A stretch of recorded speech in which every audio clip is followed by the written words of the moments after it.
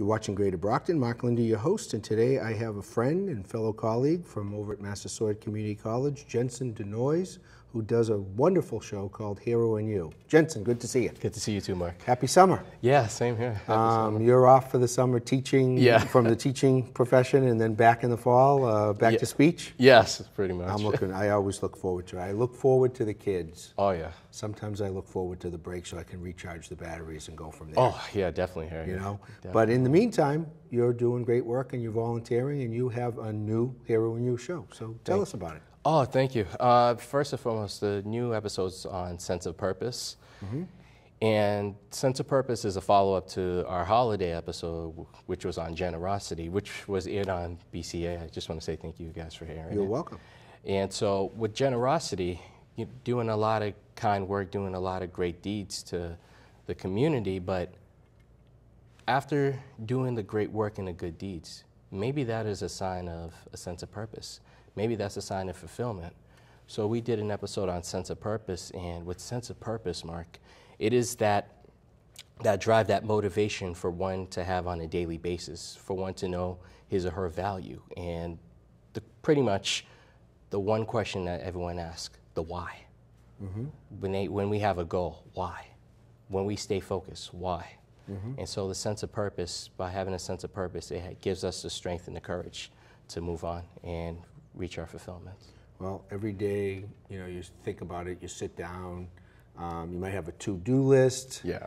It could be objectives, it could be goals, slightly different. It, it's like, why do, you, why, why do you get up in the morning? Yes. And why do you do what you do? Exactly. Um, the reason I love community television so much versus broadcast television, there are different purposes for them. Broadcast television is get the fact spam, you know, if it bleeds, it leads. True. It's not always positive. Right. You're covering the news. I know we're in the age of fake news now, which is a whole other story. We could talk about that for hours and days.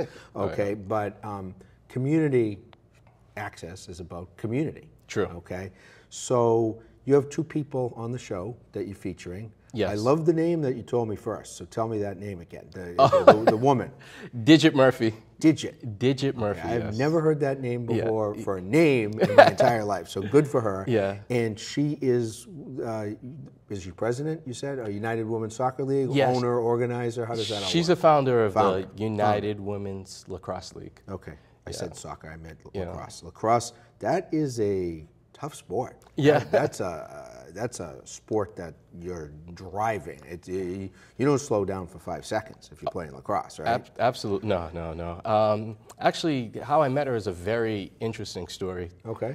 Uh, what happened back in March, my sister uh, and her, my nieces, her daughters, two daughters, they actually went to China for spring break. Okay. And so one of my nieces, when they were at a hotel, they lost, she lost a doll at, the, at a restaurant. And so they were looking for it. And so I believe there was a lady, American lady, who found the doll. Okay. And so she chatted with my sister, and uh, my sister asked her where she from. I believe I'm not too sure, but I believe she said she was from New England. Okay.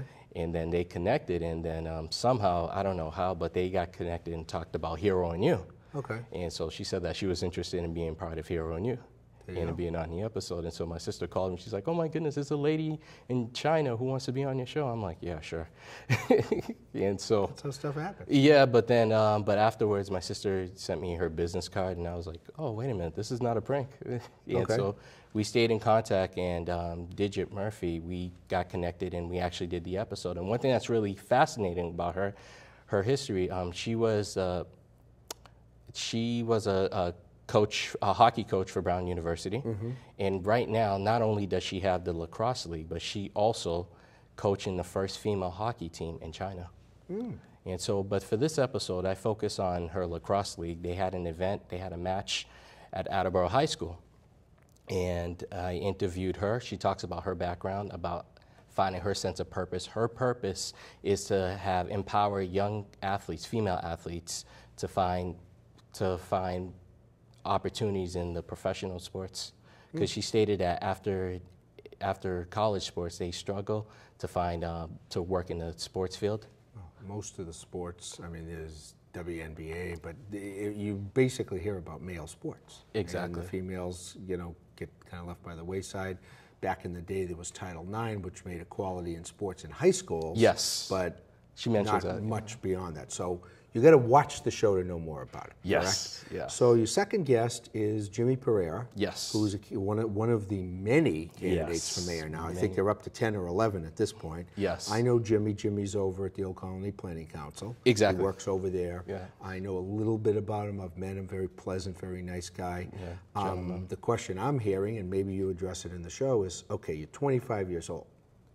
How could you possibly be qualified or ready to be mayor?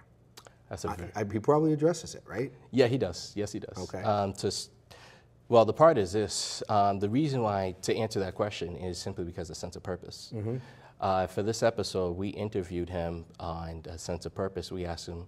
Actually, have um, actually before I continue on with the interview, Yeah. actually for this episode, I had my crew members on this episode. It consists of Simone Antunes. Okay. Yeah, fro- Uh, who's a co-host. Yeah. I also have uh, Christopher Bazil, who pr- also produced this episode, and also have Elsa Suxo.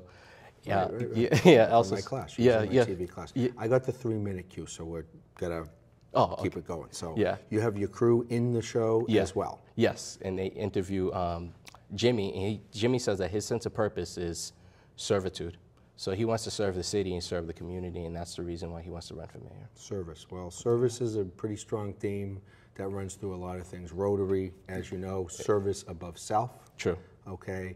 I use commitment to community when I ran because I'm committed to the community. I've been involved in it for almost 40 years. Right. Um, he's a hard worker. He's out there pressing the flesh. It's, it's hard to get attention when you are the challenger, no Oh, matter yeah. what office you're going for. Right. And uh, it's, I mean, I think he's doing something unique coming up. He's doing a yard sale as a fundraiser. Yes, I've never seen a candidate do that before. Yeah, so try something so- different and do something new. Yeah, very But fascinating. yes. obviously, so um, if you, when you're looking for guests and stuff like that, do people contact you? Do you reach out? How does that work? A combination of both. Okay. People reach out, uh, reach out to me, or if there's a member of my crew who's fascinated by a story, we work together and then interview the person.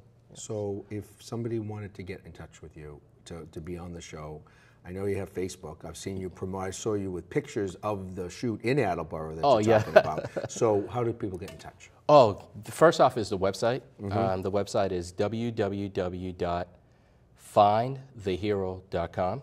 Yeah. Another way to contact us is on uh, Instagram at the hero in you, Mm-hmm.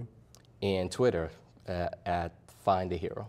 Okay, there you go. So all three high-tech ways to get you. Yeah, exactly. exactly. Thanks, Jensen. It's always good to have you on, and Thank I you, can't Mark. wait to see what you have and what's in store next. Oh yeah, definitely. Thank you. Thank you. You're watching Greater Brockton. Mark Linde, your host. Stay tuned for more events, places, people, and faces right here in the City of Champions.